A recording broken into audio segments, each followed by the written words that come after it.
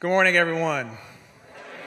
Uh, welcome to Grace Church here. Uh, those who are in the auditorium, those in the chapel, those out at Chaska, those who are watching online, and even those who will listen to this sermon and this service via podcast or streaming after today.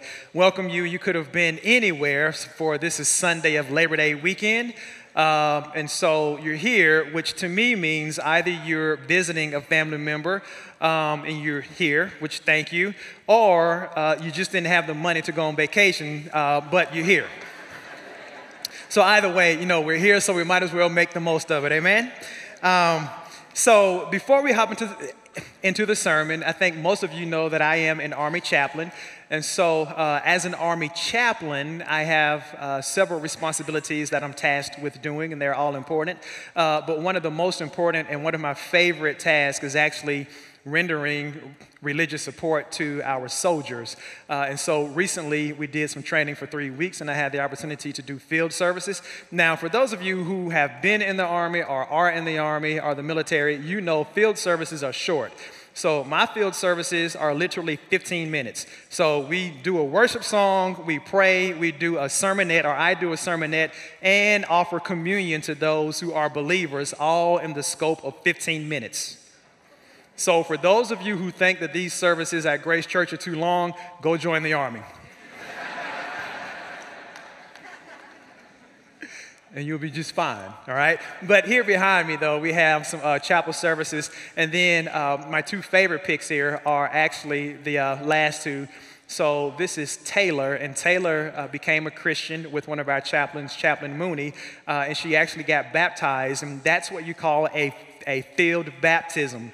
Uh, and so the, the baptismal pool in the picture is actually made out of crates, a tarp, and uh, uh, stress straps to hold it together. And so that's what it looks like. And then the last picture is actually Taylor and her brother. And her brother's in my battalion or my unit. And so we had the pleasure of taking him to see her sister get baptized. Uh, and so I know a lot of times people are questioning, well, can you preach Jesus? Uh, like, yes. As a chaplain, when I have church service, I preach Jesus Christ just like I do here at Grace Church. And that is protected by the Constitution of the United States and other legal documents, other founding documents. So I don't have to compromise. Um, and then even when I do counseling, now when I do counseling, um, I ask, hey, like you're going through this situation, is it okay if I share some Bible verses with you? And to date, I have had zero soldiers to say, no, I don't want to hear any Bible scripture. Uh, and so I give them the scripture, and oftentimes the, response is, thank you, chaplain. This is just what I need. So know that just like God is working on the mission field with John Pipes and here at Grace Church, he's also working on the battlefield. So thank you for your support. And also thank Pastor Troy and Craig McLean, my boss, for allowing me to go and do that. Uh, so thank you to all of you. Now, when I'm at home and I'm not doing stuff for Grace Church and I'm not doing stuff for the Army, one of my favorite pastimes is actually watching old school television shows. So, some of my favorite shows are, and some of you will recognize these shows like Hogan's Heroes, Sheriff Matt Dillon of Gunsmoke, The Wild Wild West, The Jeffersons, Kung Fu, The Andy Griffith Show, The Rifleman, MASH, Matlock, Perry Mason, Gomer Pyle, Bonanza, Benson, etc., etc., etc. Now, for many of you, you're like, wow, he just brought back some serious memories uh, from yesteryear. And for others of you, you're saying, like, none of those shows ring a bell. if you fall in the second group of people, that means you're either on the younger end of the millennial scope or you're Generation Z, but it's all good. Uh, all I can say is TV back then was better than it is now. Amen? All right. Now,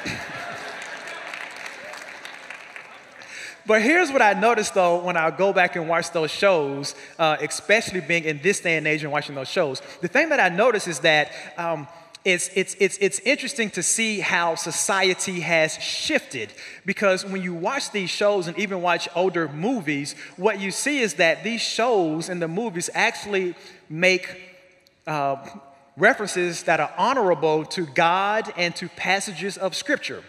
Uh, and it's actually quite, uh, quite elating to see that. Um, and so, but what I realized though is even back then, even Hollywood had some reverence for God back then. But somewhere in the late 70s and the early 80s, there was a shift. And instead of the culture being influenced by the church in this way, uh, now we see that the church, at least some parts of the church and some people in the church, are influenced in significant ways by the culture.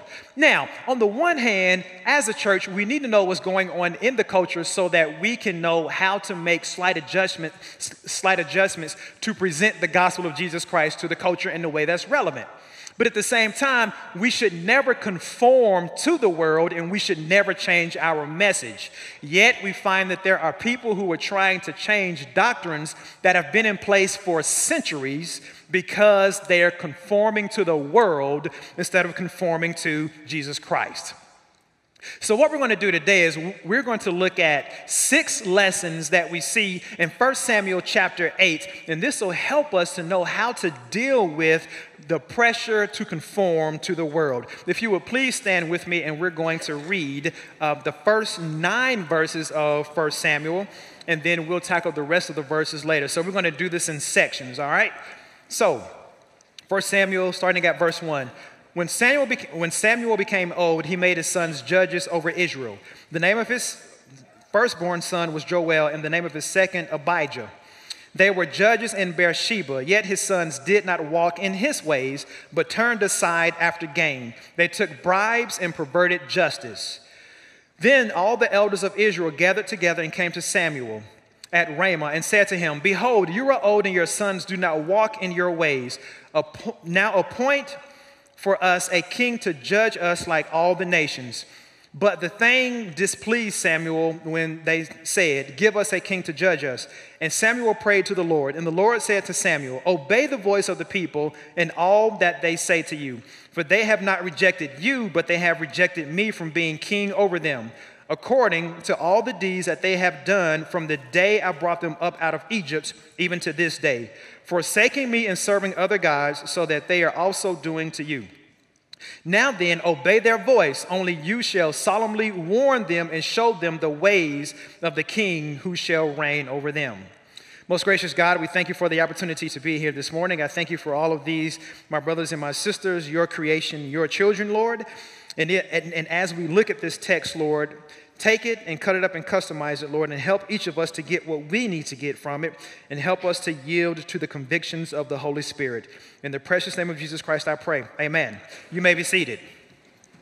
Now, here in the text, we see that the elders of Israel come to Samuel and they inform him that they want to change from a theocracy where God is their king and they want to go to a monarchy where they have a human king. And the reason that they give is because they say Samuel's sons are corrupt and that they can't trust them. Now, it's important to understand that Samuel's sons were judges in Beersheba. Beersheba is actually a city that exists today in the nation of Israel. Today, Beersheba has um, 200,000 plus residents, and, it, and it's in the southern extremity of Israel. But back in the time of our text here, Beersheba would have only had about 200 people. So the elders had a legitimate complaint where they're saying, hey, your sons are judges of 200 people and they are corrupt. There's no way that we can trust them to be judges over the entire nation of Israel. That is a legitimate concern. However, what is not legitimate is the fact that they wanted to change the system and replace God with a human king. That was not legitimate. In fact, their logic behind their request was flawed. How do we know that? Because they're saying, hey, they're making the assumption that, hey, the sons of a, ju- of, of a judge can become corrupt, but the sons of a king cannot. In fact, we have the privilege of having the entirety of the Bible so we can see how this plays out. In fact, we already know that Saul, Saul was their first king. And he displeased God and was replaced by David. David had his own issues. Can you say Bathsheba? I have some Bible readers. Thank you. You already know what happened. Uh, for those of you who don't, go home and read it. All right? I don't have time to explain it today. Um, but then, after David was king, David's son Solomon became king. Watch this. Solomon, the Bible says that he turned his heart away from God and did evil in the sights of the Lord. In fact, not only did Solomon do evil in the, in the sight of the Lord, but his son Rehoboam also did evil in the sight of the Lord. In fact, Rehoboam was such an evil king that because of his evilness, God actually allowed the nation of Israel to be split into two kingdoms the northern kingdom, which was Israel, and the southern kingdom, which was Judah. So it's interesting that the elders come and they say, Hey, we want a king because your sons are corrupt. And the very thing that they were trying to prevent is the very thing that they got. Why is that? It's because when you conform to the world, or conforming to the world starts with illogical justification. Conforming to the world, and this is point number one, starts with illogical justification. They had an illogical justification that, hey, we want a king because he's not going to be corrupt. That was illogical. But we do the same thing, single people. Like normally, I pick on married people, being married myself, but single people, I'm going to sit with you just for a moment. Because the trend now is for singles to say, hey, before we get married, let's live together. The justification, we can save money. That's actually not a bad reason. And we can get to know each other before we get married. Now, I would submit to you that it's a good idea to get to know the person that you're going to marry before you marry them. That's a good idea. But the method of living together before you do it is not a good idea. How do we know? We know because statistically speaking, People who live together before they get married actually have a higher divorce rate than people who do not live together before they get married. Why? Because the justification is illogical and it's antithetical or, or it's the opposite of what is biblically sound. Thank you.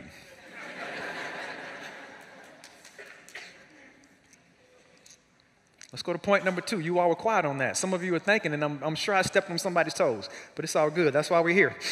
I promise you later, I'll bring some, some, some, some, some, uh, some peroxide and some band aids later in the sermon. I promise you. Point number two the people use Samuel's corrupt sons as their reason for wanting to, to replace God's system and God for a human king. And the text tells us that Samuel is displeased when this happens. But he's not displeased because they call his sons corrupt. He's displeased because they want to replace God as their king. But what's interesting is God doesn't get upset, but instead he tells Samuel, Samuel, this has actually been a thing in the making for some time now, and it didn't just start with you. And then he goes on to say that this actually started from the time that I brought the Israelites out of Egypt. Now, it's been some time since we've looked at Egypt. So let's recap right quick. The children of Israel were slaves in Egypt for 430 years. God brought them out. What's interesting is when he brought them out, the Bible says that the Egyptians gave the Israelites so much gold and silver that it was as if the Israelites had plundered the Egyptians. God's favor. Then Pharaoh's army comes after the Israelites, and you've got Pharaoh's army behind them. You've got the Red Sea before them. God parts the Red Sea, and, and the Bible tells us that the Israelites walked across on dry land. And when Pharaoh's army came to pursue them, he allowed the Red Sea to close on Pharaoh's army and drown them and destroy them. Victory, military victory. But then the Bible also tells us that God actually allowed them to have clothes and shoes that did not fail them. They had manna and quail in the middle of the wilderness, and so God was their provider. Yet, when we get to chapter 32 in Exodus, what we find is that Moses is on Mount Sinai having a conversation with God, and the Israelites get tired of waiting on him, and they ask Aaron to build a golden calf to be their God.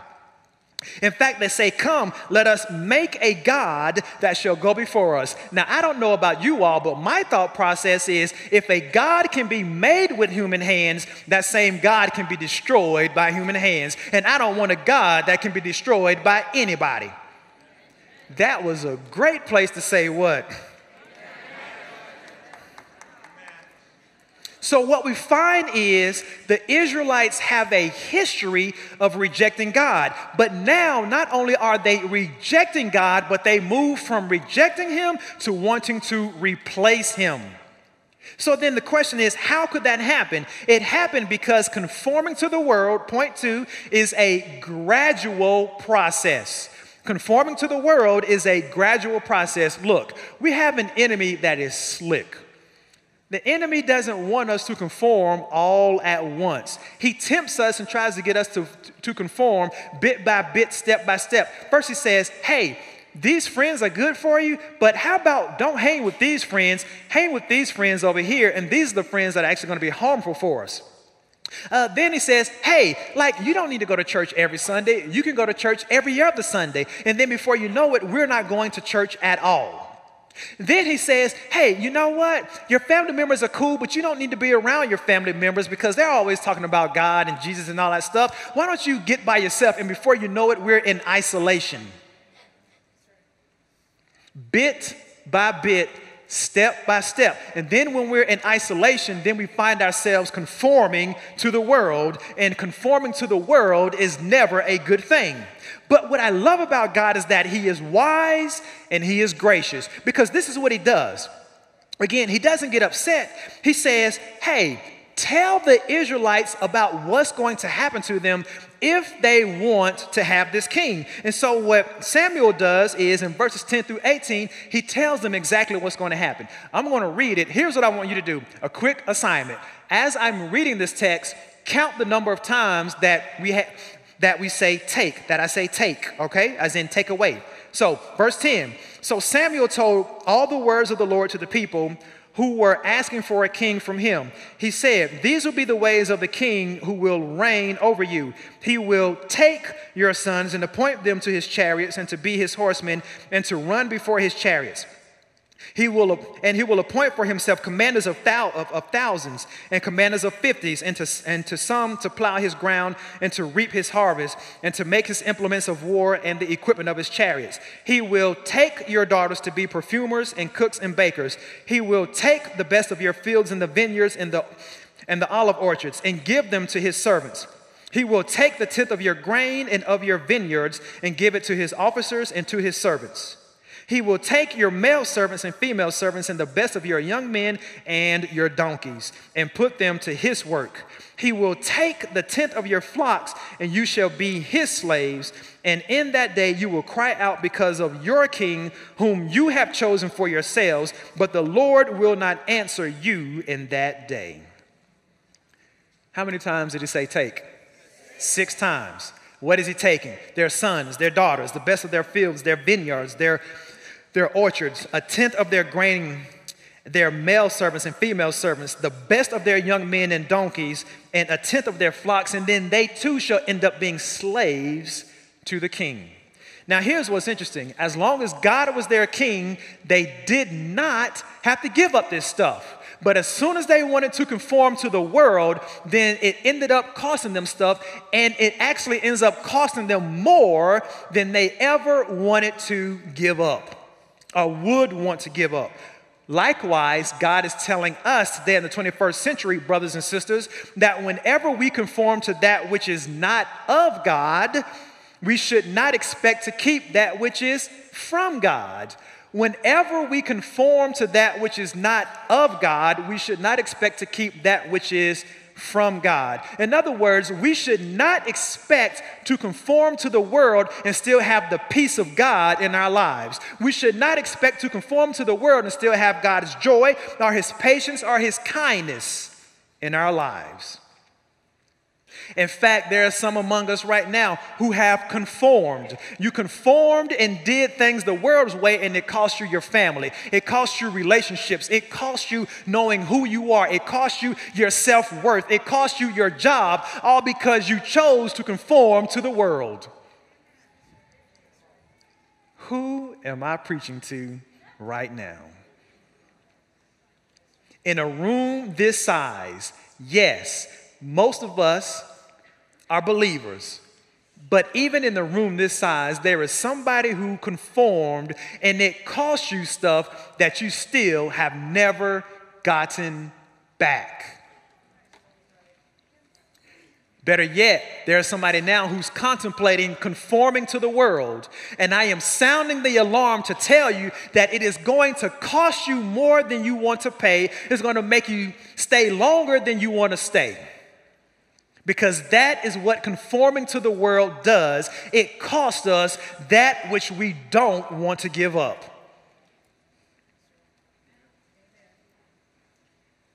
But I got some good news for you.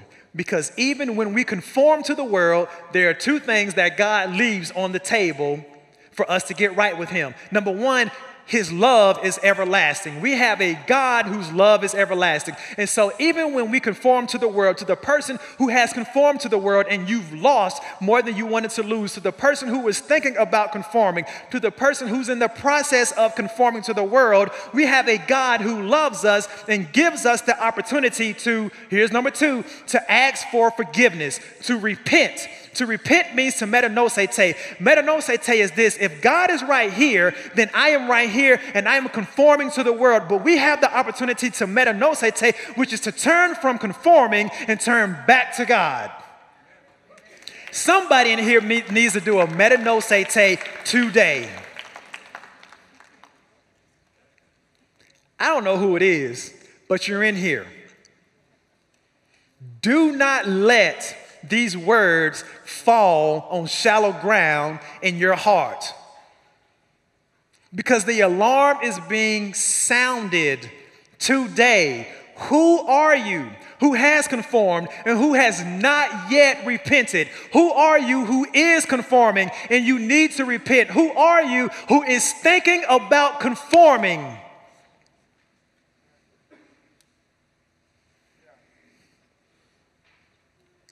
Point number three conforming to the world will cost us more than we want to pay. Conforming to the world will cost us more than we want to pay. Now, let's keep it going because Samuel tells the people everything that it's going to cost them. let's look at the people's response because this is interesting. Verse 19. But the people refused to obey the voice of Samuel, and they said, No, but there shall be a king over us. Verse 20 that we also may be like all the nations, and that our king may judge us and go out before us, watch this, and fight our battles. And when Samuel had heard all the words of the people, he repeated them in the ears of the Lord. And the Lord said to Samuel, Obey their voice and make them a king. Samuel then said to the men of Israel, Go every man to his city. Here's point number four Samuel tells the people everything that they're going to have to pay in order to have a king over them. What's interesting is they don't receive it. They don't receive it. The reason that's interesting is because remember, the word came from God. God had never lied to them because God is not a man that he should what? Lie. God had never lied to them. Samuel was the trusted judge who had never lied to them. God had spoken through other judges who had not lied to them. Yet they get this word from God via Samuel and they don't receive it. You want to know why? Here's point number four on your document. Because conforming to the world eventually brings rejection of God's truth. Conforming to the world eventually brings rejection of God's truth. You see, to conform to the world is to agree with the world, to be similar to the world. Again, if the world is here and God is here, I can't do both. That's why Matthew 6:24 says that no one can serve two masters, for either we will hate the one and love the other, or we shall be devoted to the one and despise the other. Either we love God and are devoted to him, or we love the world and are devoted to the world, but we cannot be split because God and the world are polar opposites as far as from an ethical standpoint. Now, they're not polar opposites as far as the world being equal to God in strength and power, because you do realize that our God has no equal who is opposite to him as far as strength and power. But when it comes to ethical issues, and when it comes to holiness and righteousness, the world is the antithesis of God. Point five In verse 20, the people's real motive comes out because the people say, Hey, we want a king to judge us and also to go and win and fight our battles for us. So, again, let's dig into this right quick because on the surface it makes sense. Because realize that at this point, the nation of Israel, they were tribes. They had the 12 tribes, right? So their army really looks more like a big militia. It wasn't a developed army like the Philistines would have had and the, and the Amorites and all of the nations that were around them. Their army was not that organized. And so for whatever reason, they're thinking, hey, we need a king so that the king can develop a standing army so that we can be powerful and fight the people who are coming against us. We need to be competitive against them. We need to level the playing field. So, again, on the surface, that makes sense. But, it, but, but remember point one conforming to the world starts with illogical justification. Here's why because when you go to 1 Samuel chapter 7, so the, the, the chapter preceding this, we get the true story. It's on, so it's on the screen. Watch this. 1 Samuel chapter 7, 7 through 14 says this. And now the Philistines heard that the people of Israel had gathered in Mizpah, and the lords of the Philistines went up against Israel. And when the people of Israel heard of it, they were afraid of the Philistines. And the people of Israel said to Samuel, do not cease to cry out to the Lord our God for us, that he may save us from the hand of the Philistines. And so Samuel took a nursing lamb and offered it as a whole burnt offering to the Lord. And Samuel cried out to the Lord of Israel, and the Lord answered him.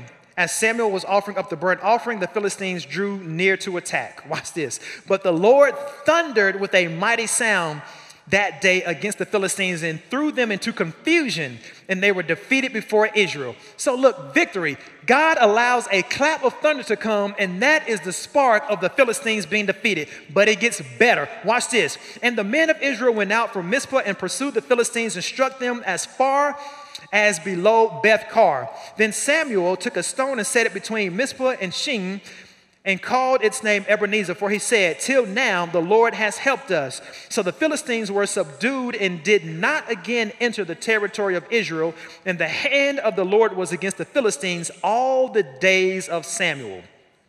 But watch 14, verse 14. The cities that the Philistines had taken from Israel were restored to Israel from Ekron to Gath, and Israel delivered their territory from the hand of the Philistines. There was peace also between Israel and the Amorites. Watch this. The Philistines are about to attack Israel, the same Israel that doesn't have a king and who has tribes and has more of a militia for an army. God allows a clap of thunder to come to cause confusion for the Philistines, and they're in disarray. Israel attacks and chases them as far as they can. So they have victory. They have a miraculous military victory. But not only that, they also get back land and territory that the Philistines had taken from them. And not only that, but the Amorites see what has happened between the Israelites and the Philistines, and they say, hey, you know what, Israelites, we're good. We don't want any of that. You do you, and we'll do us, and we're good. Holla at your boy. Peace. That's what they said. So when you look at chapter 7, it does not make sense that here in chapter 8, they're saying we want a king to judge us and we also want a king to fight our battles for us. Because they have a God who is literally undefeated, ooh, except for a few times. Watch this. The only time the Israelites were defeated in battle is when they were disobedient to God and God allowed them to lose so that they could be disciplined. That's the only time that they were ever defeated in battle. So I'm thinking, hmm, you mean to tell me the only thing I need to do to win every battle is be obedient to God who is gracious and merciful and who is not unreasonable? I'll take that any day. But instead, what they do is they say, hey, let's get rid of God and let's replace him with a human king. So then, why does this happen? I'll tell you why. Point number five because conforming to the world makes us forgetful and unappreciative of God's greatness. Conforming to the world makes us forgetful and unappreciative of God's greatness. Look, again, if the world is here, the more we look at the world, the more we conform to the world, the more we listen to the world, then the less impact God's word is going to have on us, and the less appreciative and the more forgetful we become. Because if we are focused on conforming to the world, then we are not even realizing the goodness and the greatness of God who still keeps us despite the fact that we've turned our backs to Him. And this leads us to point six, because point six says this in verse 22 God tells Samuel to obey their voices and give them what they want. Now realize, God did not have to give them a human king, He chose to give them a human king. Why? Because at this point, they didn't want to believe truth. They had what they had what the Bible calls a reprobate's mind. In other words, it's possible to get to a point where you are so bent on doing what you want to do that you say, God, later. And God says, you know what? I love you so much and I'm such a gentleman that I'm going to let you take the path that you want to take. But when we take that path, we find out that all there is is death, damnation, and destruction. I feel like I'm stepping on some toes right now. Whose toes are being stepped on right now because you have decided that you want to do what you want to do. You don't care what mama and daddy said. You don't care what your boss said. You don't care what the pastor said. You don't care what the Bible says. You don't care what God said. But again, the good news is we got God's love and his forgiveness. So if you're willing to turn around and metanoeite, God is standing here today with open arms. So point six is this. At the end of the day, conforming to the world makes us victims of our own folly.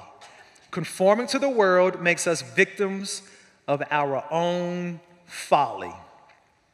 Now, I'm bringing my plane in for a landing. So here's the deal Today, we've looked at the consequences of yielding to pressure to conform to the world. Here's what we got to know whenever we conform to the world, it is not going to work out well for us. It's not. So we have to be willing to do that which God has ordained us to do. So then, how do we do that? Three things that we need to take away. How do we not conform to the world? Number one, we know that the battle to get us to conform to the world's standards is fought and won in two places our minds and our hearts. Our minds and our hearts. Remember, in the first section of this chapter, the Israelites had an illogical justification. So it starts in our hearts and travels, excuse me, starts in our minds and travels down to our hearts. Number two, we must always filter our words, thoughts, actions, and passions through the Word of God.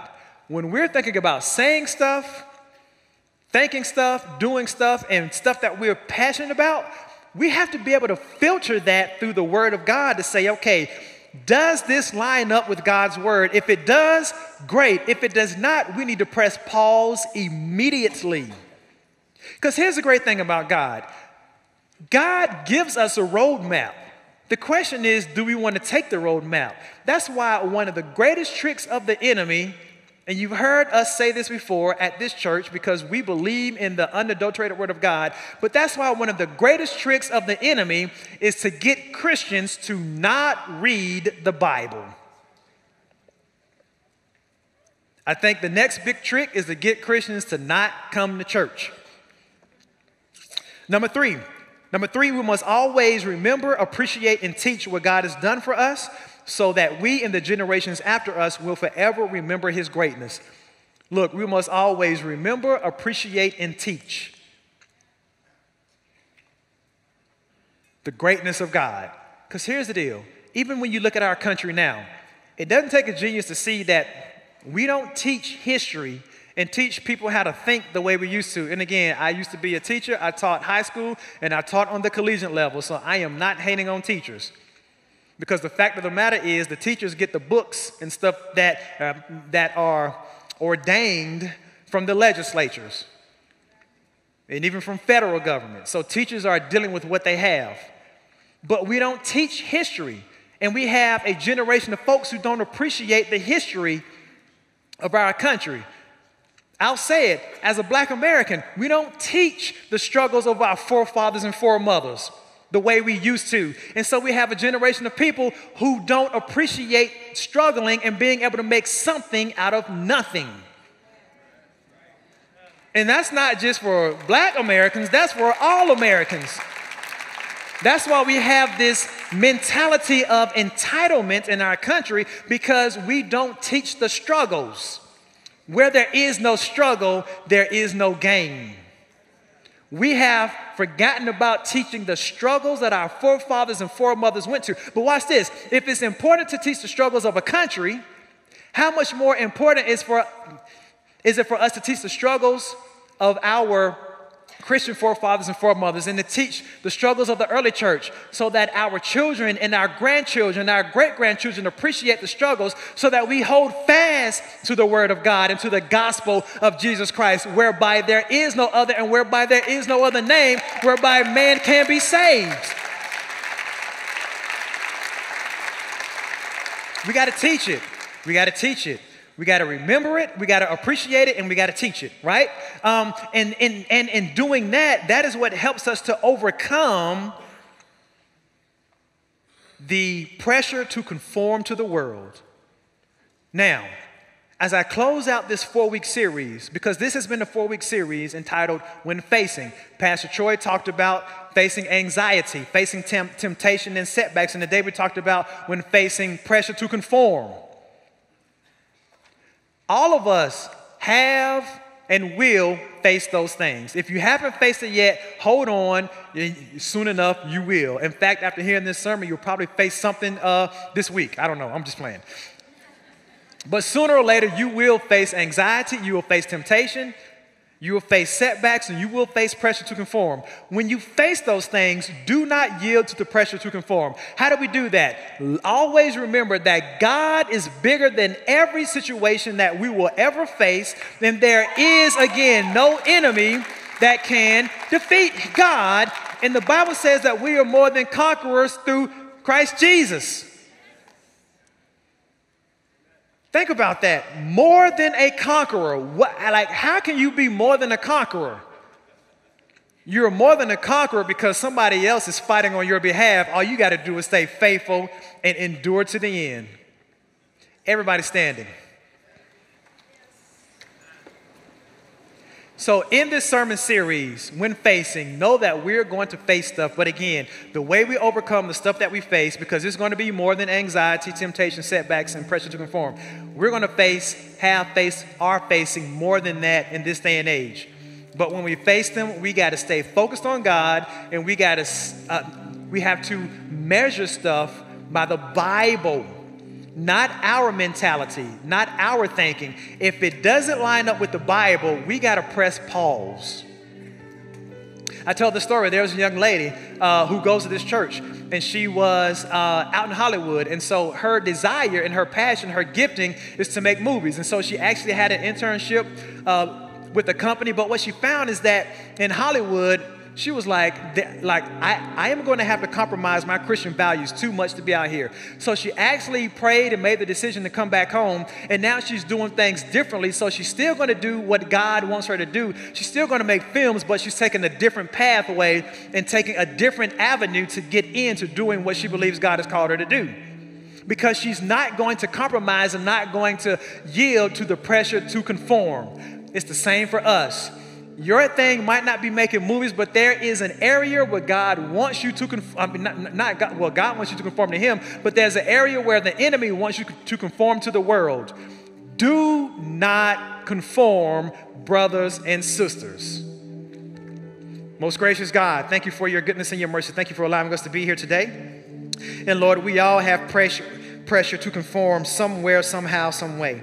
But Lord, give us wisdom, give us supernatural wisdom and discernment so that we can see when and where the enemy is trying to get us to conform.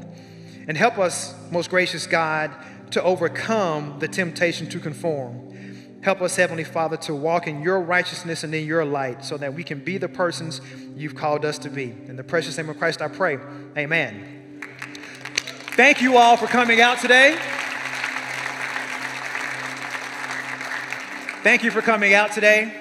If you need prayer, we have the prayer room over here to my right, your left. Uh, I'll be down here if you need to talk. Thank you very much. Have a safe Labor Day tomorrow. And again, thank you. Be blessed.